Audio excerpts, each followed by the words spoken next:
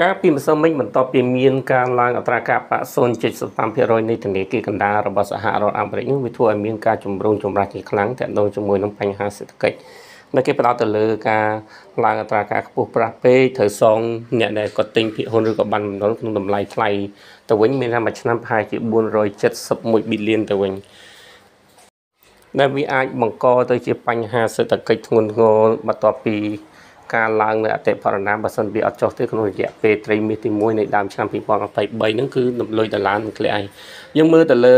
របាយការណ៍ non payment row របាយការណ៍នេះនឹងធ្វើឲ្យមាសធ្លាក់ចុះនៅថ្ងៃស្អែកតែម្ដងពីព្រោះវាមានភាពល្អប្រសើរគឺអត្រាអត់ការងារធ្វើនៅសហរដ្ឋអាមេរិកមានមានតែ3.5ទេកាលពីមុនរំពឹង365 360 360k នឹងធ្លាក់មក300គុត នៅក្នុងវីដេអូដែលបងប្អូនកំពុងតែឃើញនេះគឺនិយាយអំពីបញ្ហារបស់មាសដែលកំពុងតែមានការចម្រូងចម្រាសច្រើនពីព្រោះវាមានសន្ទុះចុះចុះខ្លាំងតទៅជាមួយតម្លៃមាស នៅក្នុងវីដេអូនេះត្រូវបានគេនិយាយថាជាទូទៅមនុស្សចូលចិត្តទិញមាសដែលមានពិតប្រាកដអញ្ចឹងណាព្រោះវាគឺជាកន្លែងដែលមានសារៈប្រយោជន៍មានសុវត្ថិភាពខ្លាំងមែនទែនប៉ុន្តែដោយសារតែអត្រាការឡើងប្រាក់ប្រាក់នៅក្នុងបច្ចុប្បន្នហ្នឹងនឹងធ្វើឲ្យអ្នកទិញមាសហ្នឹងគឺមានការខាតបង់ទៅលើរឿងរ៉ាវទាំងប្រមាណចំណុចដែលនឹងកើតឡើងទី1តទៅជាមួយនឹងកង្វះខាត នៃសង្វាក់ផលិតកម្មទី2តទៅជាមួយនឹងកង្វះខាតនៃអត្រាពលកម្មទី3តទៅជាមួយបញ្ហាព្រឹត្តិការណ៍ភូមិសាស្ត្រកើតឡើងដូចជាសង្គ្រាមទី4តទៅជាមួយនឹងការឡើងងើបឡើងវិញនៃទុនឆៃប្រទេសចិន ទី5គឺតទៅជាមួយនឹងតទៅការឡើងនៅអត្រាការប្រាក់ដែលធ្វើឲ្យដុល្លារហ្នឹងវាវាកាន់តែថ្លៃទៅហើយការទិញមាសនៅក្នុងភាគហ៊ុនគឺប្រកាសជាខាតបង់ បើលើពាក្យថាខាតបងប្រហែលជាបងប្អូនមួយចំនួនក៏ចំហមកទៅចំទិញមាសខាតបងអ្វីដែលគេផ្ដោតទៅលើនេះគឺគេការទិញមាសនៅក្នុងទិញភាគហ៊ុននេះហ៊ុនមាសនៅក្នុងពេលបច្ចុប្បន្នហ្នឹងគឺវាមិនមានកំណើនណាមួយដែលនឹងអាចងើបឡើងទេយើងឃើញវាបានធ្លាក់ចុះតាំងពី230ឡើងមក210ធ្លាក់210ឥឡូវនៅក្នុងលបាក់ត្រឹមតែ 200គុតទៅដល់198 99បើមែនទេនៅស្រុកខ្មែរ200គុតតែបើសិននៅស្រុកគេគឺអត់ដល់ឡើងដល់200គុតទេគឺតាមតែ97 98 96អាហ្នឹងទីទីផ្សារមាសអញ្ចឹងណាអញ្ចឹងមានថាឡើងអត់ផុត នៅក្នុងរយៈពេលហ្នឹងអ្នកដែលលេង trading ក៏គេលេង trading គេទិញភ្លាមគេលក់នៅក្នុងរយៈពេលមួយខ្លីៗដើម្បីគេចំណេញបានភ្លាមភ្លាមសម្រាប់បងប្អូនដែលគាត់ទិញមាសទុកខ្ញុំនិយាយអំពីទិញមាសទុកពីព្រោះវីដេអូខ្ញុំភាគច្រើនខ្ញុំធ្វើឡើងដើម្បីលើកចិត្តលើកទឹកចិត្តសម្រាប់បងប្អូននៅក្នុងចំណុចនេះបងប្អូនបានលឺឲ្យតើតើជាមួយនឹងការភ័យបារម្ភតាក់ទងជាមួយនឹងអតិផរណាដែលនឹងកើតឡើងរយៈពេល3ខែទៅទីមាសទី1ឬក៏6ខែ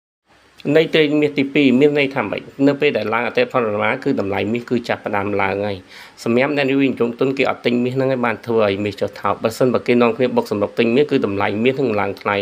អញ្ចឹងណាបងប្អូនហើយអ្នកដែលទិញមាសបច្ចុប្បន្នគឺមានតែរដ្ឋាភិបាលនៃប្រទេសធំៗដែលជាធនាគារកណ្ដាលគេទិញយកស្តុកទុកក្នុងដើម្បី គោលម្ដងក្នុងការថែរក្សាស្ថិរភាពសេដ្ឋកិច្ចរបស់គេដើម្បីយកមកប្រើប្រាស់ដូចជាសហរដ្ឋអាមេរិកដែលមានមាសបំរុងច្រើនជាងគេដើម្បីចាក់ចូលក្នុងសេដ្ឋកិច្ចរបស់ខ្លួននៅពេលដែលមានបញ្ហា recession